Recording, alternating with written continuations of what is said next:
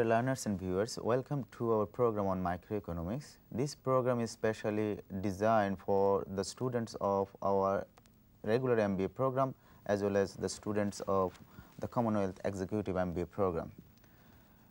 This program is based on the chapters of the microeconomics textbook of the MBA program and the economic environment of business textbook of the Commonwealth Executive MBA program.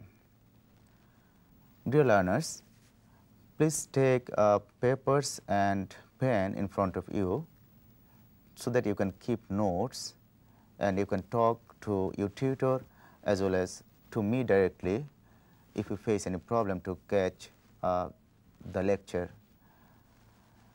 Let me now introduce you with the aim and objectives of this program.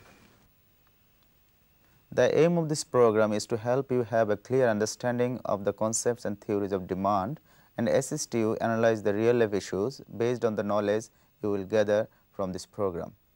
Now the objectives of this program. After carefully listening and viewing this program, you will be able to define the concept of demand for a commodity, describe the determinants of demand for a commodity, explain the relationship between price of the commodity and the quantity demanded for the commodity, explain the law of demand, then you will be able to draw the demand curve from a demand schedule, then you will be able to explain the reasons of the shifts of and movements along the demand curve. Finally, you will be able to draw the market demand curve from individual demand curves. Dear learners and viewers, you must have noticed the people around you to utter the word demand in their usual discussions. But one thing you may not be clear what exactly demand means from economic point of view.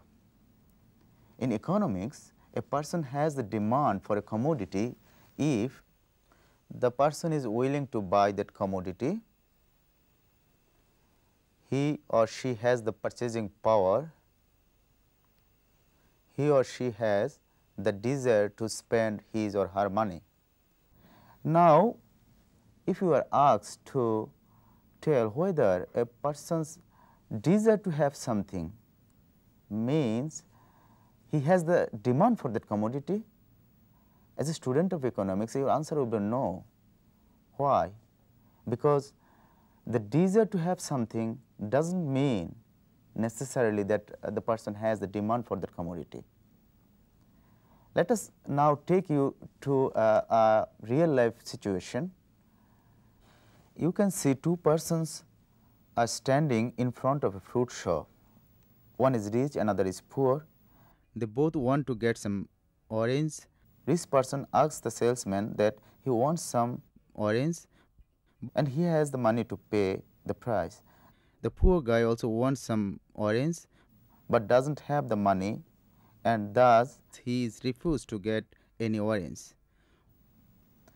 What can you infer from this situation?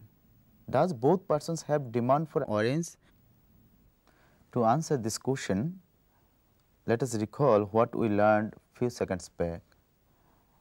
Now, you can tell easily that the rich person has the demand for the commodity because the rich person has the money in his pocket and he has the desire to spend the money. Whereas, the poor person only has the desire to have some orange, but he does not have money with him. So, the poor person does not have demand for orange.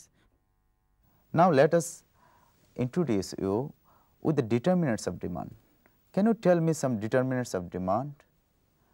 Just think what are the forces, factors which determine the quantity demanded for a commodity.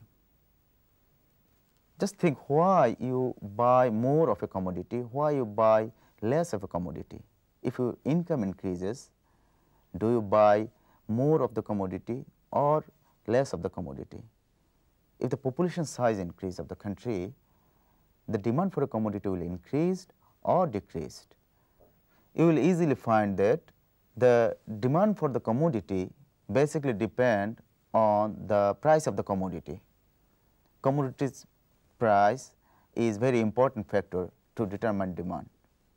But there are other factors too.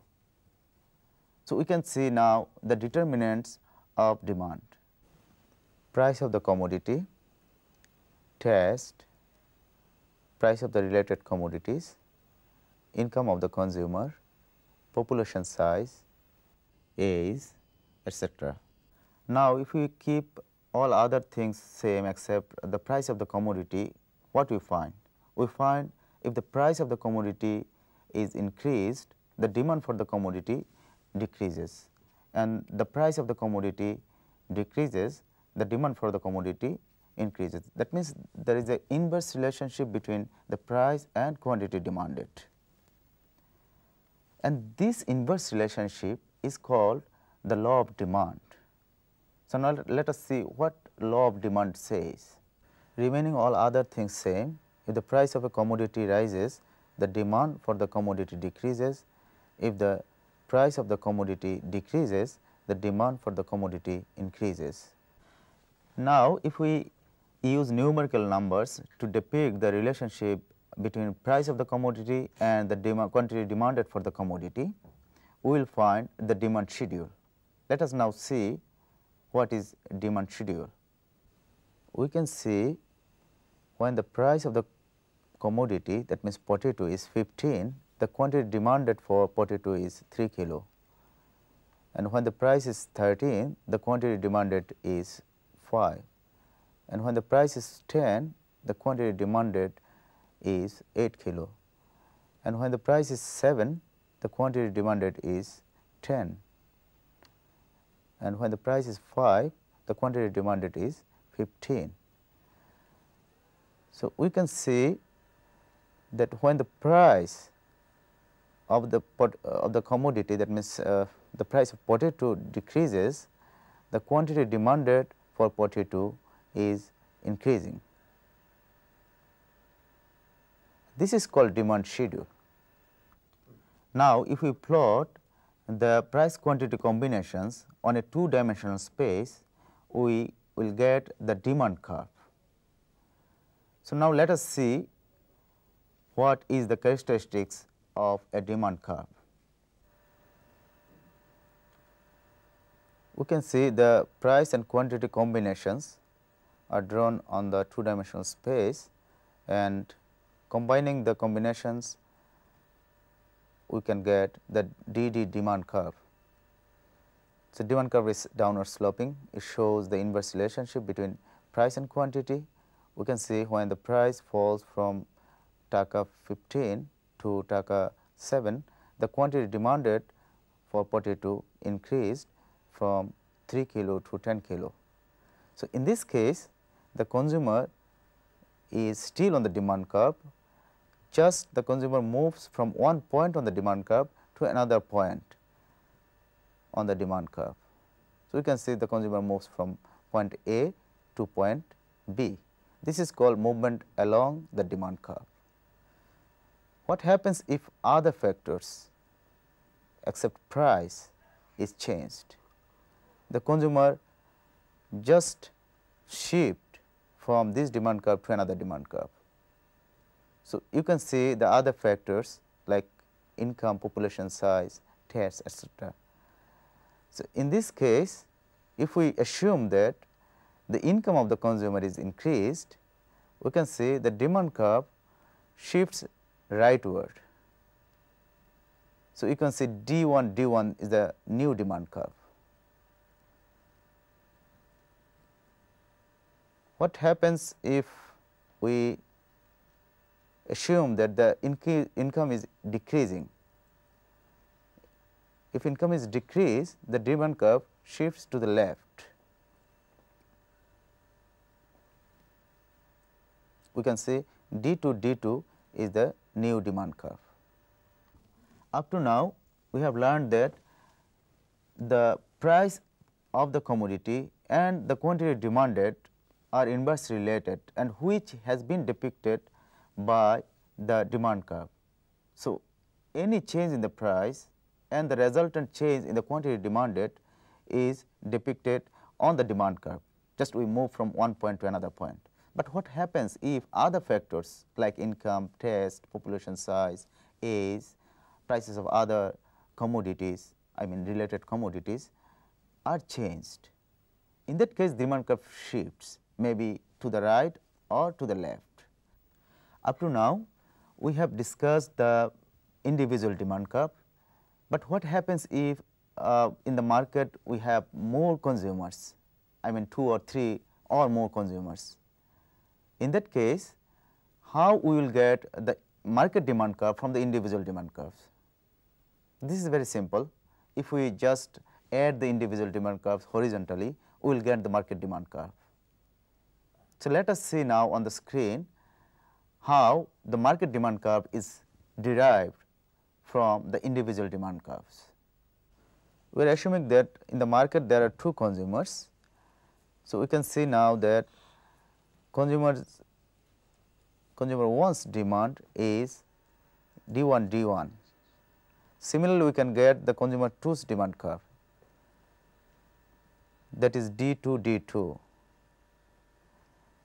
and if we now like to get the market demand curve from consumer 1's demand curve and consumer 2's demand curve, we will just add D1 D2 D1 D1 with D2 D2 horizontally. Now, let us see how this addition is made. So, we can see the horizontal distances are put together on the market demand space. So, we can say at price 10 consumer 1's demand is 3 and consumer 2's demand is 2 and the market demand is 5 at 10 price 10. And what happens at, at price 6? At price 6 consumer 1's demand is 5, consumer 2's demand is 5 and together the market demand at price 6 is 10. Now, if we add these two points, we will get the DD demand curve.